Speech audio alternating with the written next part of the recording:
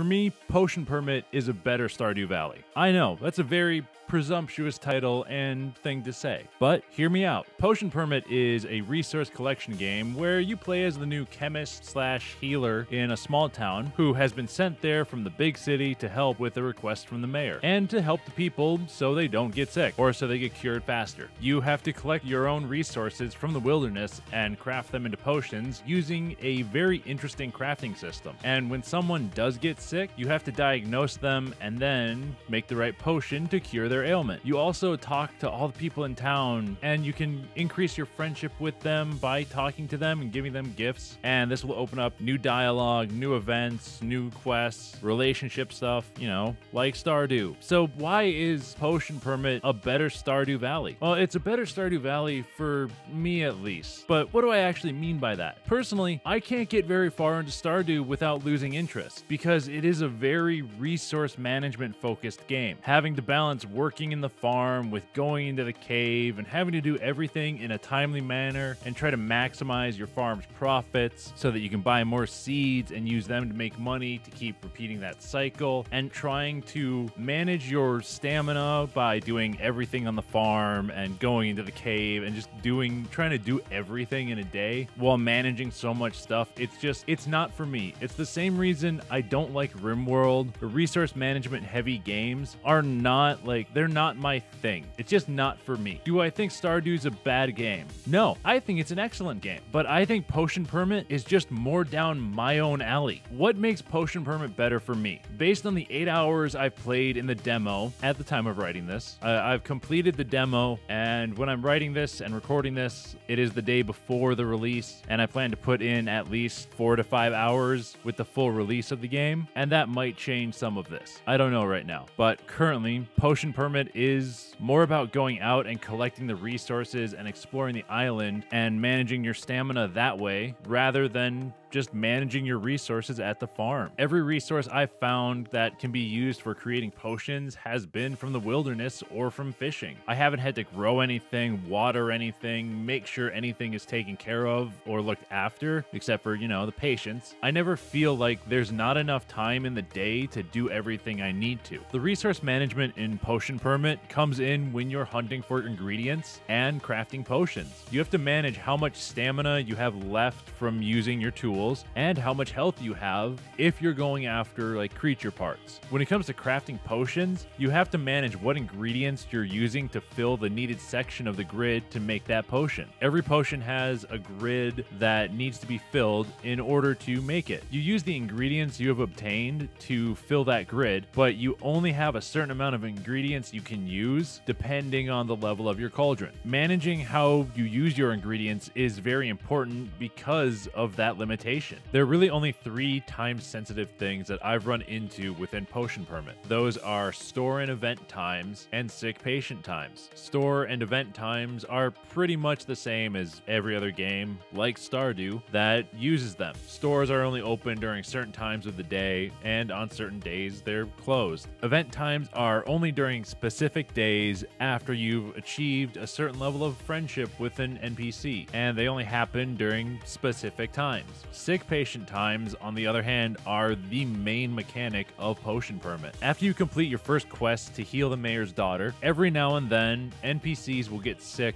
and come to the clinic to be treated by you. They will tell you where their illness is, or where they're hurting, where they're itching, whatever, and you have to locate and diagnose it. To diagnose it, you have to do a small mini game like pressing a button at the specific time, like DDR or Guitar Hero, or playing Simon Says. Then you know what potion potion to use, and you can either use it if you have it on you or you have to go and make it. If you don't make the potion in time, your reputation will go down and the townspeople will talk to you less. And I think you may get run out of town and lose. I don't know. I haven't had my rep drop that low. There is one thing that I would say needs to be changed about Potion Permit that would increase my personal enjoyment. The controls are not great. They're all on keyboard and the mouse is just, it's not utilized at all. I think the game was made for using a gamepad so that it could be on Nintendo Switch, Xbox, and PlayStation. But I play on PC and I always like playing with mouse and keyboard because I feel like I have more control over everything. Just using the keyboard makes it hard as hell to control the cursor for finding a patient's ailment or for moving around the map. I get that they only have like four degrees of motion in the game because of the art style where you're only going up, down, left, or right. I don't think the game has eight axes of motion. Might be wrong though. But given all that, I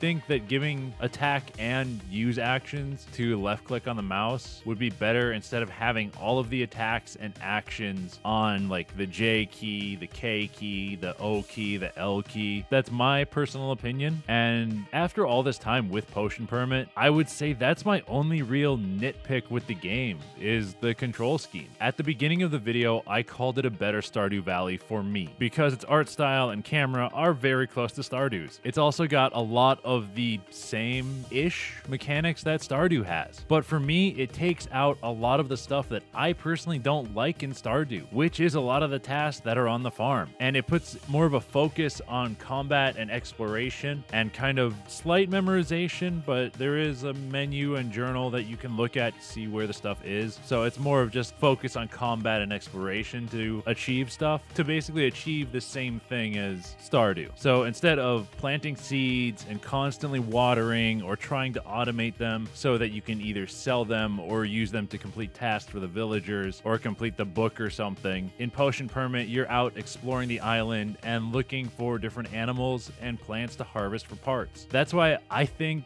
Potion Permit is a better Stardew Valley for my ADOS ass. If you don't know what ADOS is, it means attention deficit. Ooh, shiny. So, there you guys have it. That is my first impressions of Potion Permit after about 10 hours. If you guys enjoyed this video, maybe check out my first impressions video on the new free-to-play FPS Shatterline. If you haven't seen that one, I did upload it like a week ago. Maybe you haven't seen it. And don't forget to hit that subscribe button because it does really help me out trying to build up to 200 subs right now.